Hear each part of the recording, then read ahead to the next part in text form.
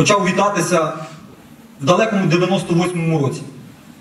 До того часу українську мову шанував, любив, цікавився історією, особливих проблем в її утисках не відчував, в родині спілкувався українською. Але 98-го року, навчаючись в Кам'янці-Подільському на військовій справі, був такий предмет військова тактика. І підполковник цілу годину розказував і пояснював, яка в нас може бути військова тактика у випадку війни з Румунією, з Молдавією, з Польщею, з Білорусією. По закінченню уроку стандартне питання, чи в когось є якісь запитання. Серед всієї аудиторії тягну руку. Як свідомий українець питаюся, а яка в нас буде тактика у випадку війни з Росією? 30 секунд паузи, і підполковник, як в книжках написано, ми навіть не розглядаємо аламані український. Такої возможности у нас стратегічне партнерство. І ця відповідь мене не задовільнила. Я вибухнув, сказав через те, що ми не знаємо своєї історії, що ми постійно воюємо з Росією, через те, що ми не шануємо своєї мови, коли військові розмовляють мовою іншої держави. В нас і відбуваються отакі історичні ганебні факти про окупацію нашої держави. З тих хвилин мене з військової кафедри ледь не відчислили. Але в той час я зрозумів, що за ці світоглядові речі, які мені дісталися з молоком матері, потрібно воювати. Навіть не обов'язково військовим шляхом, але їх потрібно захищати.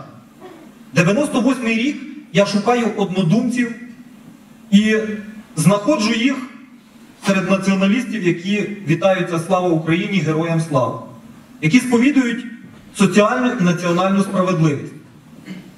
Коли я написав заяву в партію, батько в мене питався, каже, ти, напевно, десь. Е, ну, я такої партії не знаю, в неї десь, мабуть, ніяких перспектив. Я пояснював татові, що я не йду туди за політичною кар'єрою. Насправді це партія однодумців. І тоді я розумів, що важкий тернистий шлях, можливо, дасть на моєму життєвому шляху побачити українську державу наповнену українським змістом. Ці мрії я плекав довго аж до Майдана щодня наближаючи оту революцію гідності. Тому що це був черговий етап національно-визвольної революції. Я тішився з того, що маю можливість історичних подій. Адже побратими вибрали мене сотником Хмельницької сотні свободи.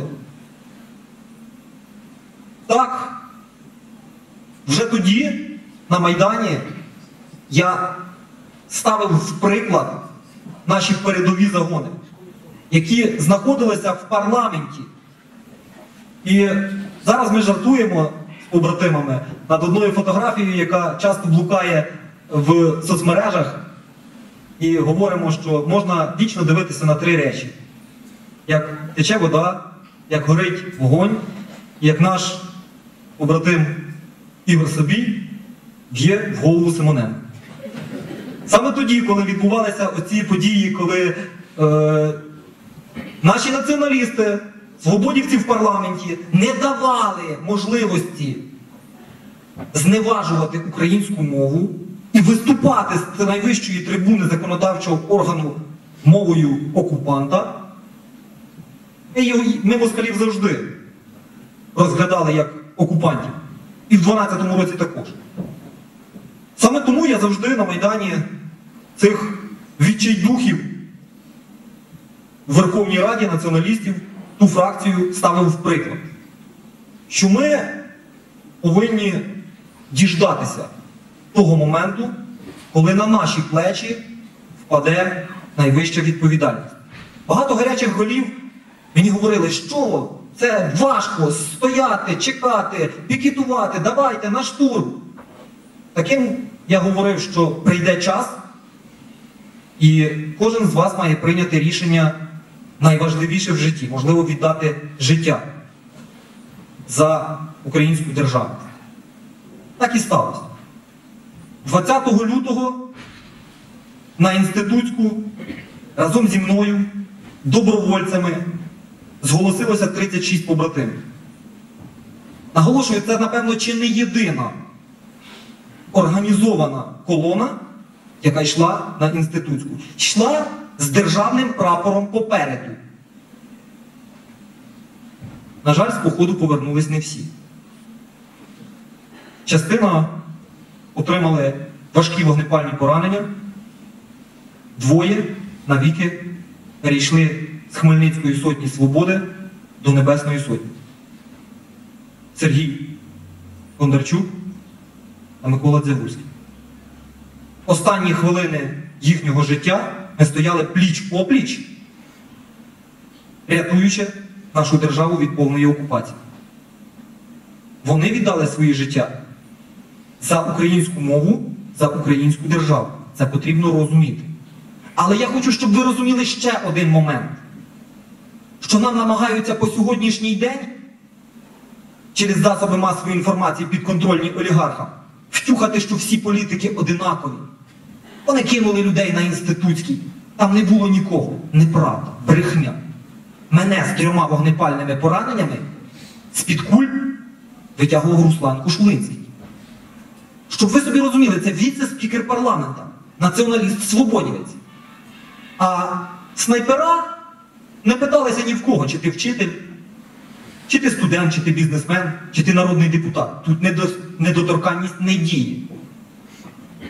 Це людина, яка своїм прикладом надихала багато інших, коли не прикривалася своїм мандатом, а отримавши повістку, пішла рядовим сержантом, не генералом штаб, а сержантом.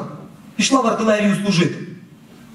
От такі люди, таких людей в своєму середовищі ми маємо викристалізовувати і делегувати в владу, потім питатися за їхню роботу.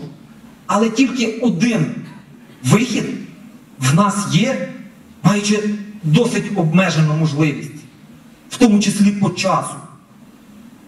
Для того, щоб вберегти Україну як державу і мати можливість більше цього часу для того, щоб встановити панівне становище української мови на нашій території.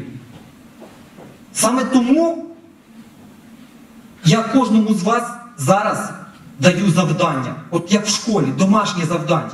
Не встидайтесь, не соромтеся в своєму середовищі розмовляти про ті політичні процеси, які відбуваються сьогодні в країні.